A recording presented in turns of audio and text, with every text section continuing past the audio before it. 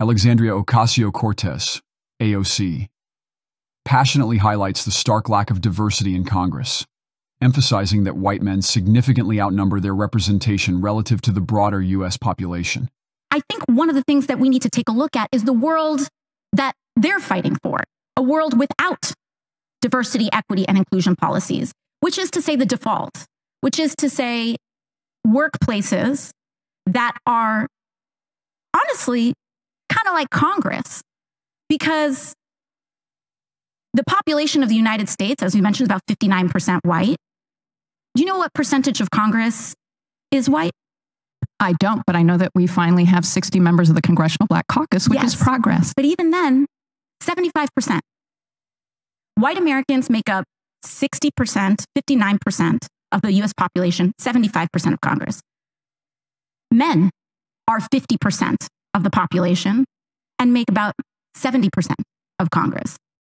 In broader societal discourse, the principles of meritocracy and individualism hold sway, advocating for positions to be earned through qualifications, experience, and performance rather than solely identity.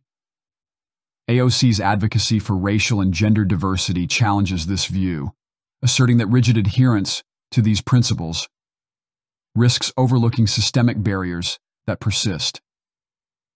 While strides have been made in diversity over time, disparities remain. The goal should not be to mandate specific outcomes based on identity, but to ensure equitable opportunities for all. AOC's stance is viewed by some as a necessary push against entrenched inequality, yet critics argue it risks polarizing public opinion.